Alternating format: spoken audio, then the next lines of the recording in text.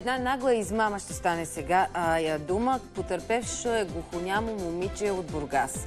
Мошенникът се запознава с момичето в интернет. Пишат си дълго време, а в последствие се срещат и той подлъгва да пътуват заедно уж при неговите родители в Турция. И по време на това пътуване, което започва всъщност, успява да отмъкне 30 000 лева, мобилни телефони за близо 3 000 лева. История като по филмов сценарий. Напомня опасен чар, ама в нов, в съвременен а, вариант. А, измамника е задържан обаче. Всичко за схемата ще ни разкаже сега Цеца Алексова. Добро утро! Добро утро, колеги. Не знам доколко е опасен чара, но както разбрахме и от съобщението от бургаската полиция, дамата се е оплакала, че и липсват 30 000 лева и три скъпи мобилни телефона. Според полицията, Инцидентът е станал на 6 ноември, като момичето е било изоставено в Созополското село Крушевец. В момент, в който двамата са пътували, тя и нейния партньор, да го наречем, с двете му деца за Турция, където а, той и обещал, че ще закупят а, жилище, а, в което двамата да продължат съвместния живот. Какво се е случило по пътя обаче, ние не можем да кажем. Можем да кажем само, че 30 годишният Ерхан а, Рамисов е задържан на влизане от а, от Турция към България на граничния контролно-пропускателен пункт Малко Търново и в момента е с 72 часова мярка за държане по стража. До мен е Георги Чинев, окръжния прокурор на Бургас. Прокурор Чинев, какво можем да кажем още за този случай? Какво сочат показанията на задържания млад мъж? Добро утро на вас и на зрителите на Нова.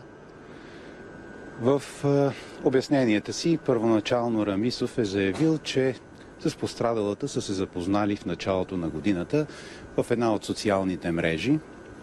Осъществили са контакт посредством уеб-камера. Впоследствие той заедно с децата си, а и съпругата си, са гостували на пострадалата в нейното жилище, находящо се в Бургас комплекс Меден Рудник което означава, че а, той всъщност е и семейен и съпругата му също познава въпросната дама. Да, точно така. Той е а, семейен. Съпругата му отново казвам а, ведно с а, децата им, които са малолетни, момиче и момче на 6 и 5 години, са гостували в дома на пострадалата и в последствие заедно четиримата са се отправили към Република Турция, където, както заявихте и вие самата, той е обещал на пострадалата да закупят жилище, в което да заживеят съвместно. А, можем, може би, да направим уточнението, че и тримата са с а, проблем глухонеми. Да, за съжаление и тримата, т.е. обвиняемия пострадалата, както и съпругата на обвиняемия, страдат от физически недостатък, глухонеми са. Обясни ли измамената откъде е имала такава сума а, пари и можем ли, кът, има ли всъщност доказателства, че сумата е точно 30 000 лева, така както тя твърди пред полицията? А, позволете ми изрично да направя едно уточнение, казвайки, че обвинението, което по-настоящем е повдигнато и предявено на Ерхан, не е за измама, а за кражба. Предмет на посегателството са както заявихте и самата вие, три скъпи мобилни телефона, парична сума в размер на 15 000 лева, дрехи и обувки. Би следвало тук да направя още едно уточнение а, в посока, че в първоначалните си показания пострадалата е заявила, че предмет на посегателство са били 30 000 лева, а в последствие е посочила, че тази сума е двойно по-малко, 15 000 лева. Според показанията й, наличната у нея сума е била съхранявана част от нея в дома и в резултат на нейни спестявания, а другата е получила в наследство от покойните си родители. Разбира се, твърди и, че част от паричните средства, с които е разполагала, са в резултат на получаваната от нея инвалидна пенсия, тъй като е освидетелствана с експертно решение на телка.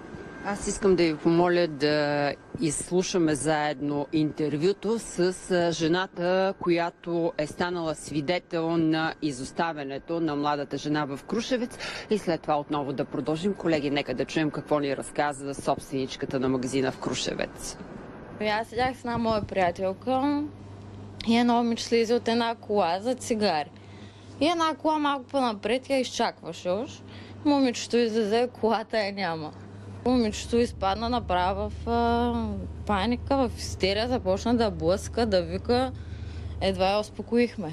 Разказа, че имала три телефона, лаптоп и много пари. И това е. Как се разбрахте? Разбираме, че тя е имала... С мимики на лист тя искаше да... И да дадем лист химикал, да обясни долу-горе какво става въпрос. Какво точно ви написа? Ами каза, че заминавали за Турция. Той бил се развел и искал да живеят заедно там, нали, били неговите родители. Разказа ли ви от колко време са се познавали? Ми от 6 месеца, от а, месеци, не знам точно колко. За първ път ли го е виждал въобще? Какво друго разказа? Ами не, не за първ път, но а, после тя свърза с една нейна приятелка. Момичето каза, че е предупредила, че има нещо съмнително, да не се занимава. Но тя... Любов. Ма да. А, чухте интервюта с собственичката на магазин, която е станала свидетел на скандал. Като че ли има малко привкус на латинно сериал Прокурор Чинев, има ли още разминавания в показанията, които ви навеждат на мисълта, че става въпрос за някакво лично отношение, може би отмъщение този сигнал? Не бих го квалифицирал по този начин. Безспорно, по наше мнение, е доказано отнемането на движимите вещи ведно с паричната сума, за които споменах по-рано.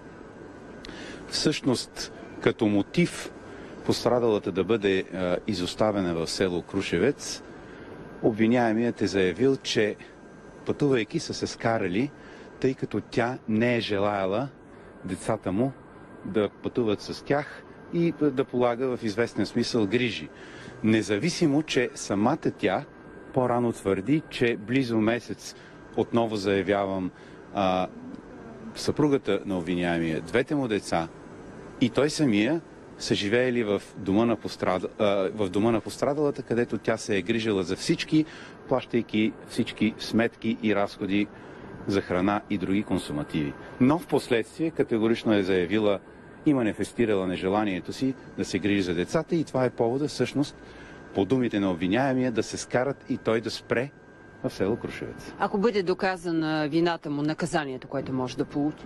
Предвиденото от закона наказание за по-настоящем квалифицираното деяние като кражба по член 194 алинея 1 е до 8 години лишаване от свобода, но най-вероятно обвинението ще бъде преквалифицирано, т.е. изменено в по-тежка квалификация, тъй като за установяване на трайна фактическа власт върху предметите на посегателството е използвано моторно превозно средство. Благодаря ви, прокурор Чинев. Само да направим едно уточнение. Днес в ранния следобед районния съд в Бургас ще гледа искането на прокуратурата младия мъж да бъде оставен за постоянно в ареста. Да, благодарим ти много, Цеца. Абсурдна история.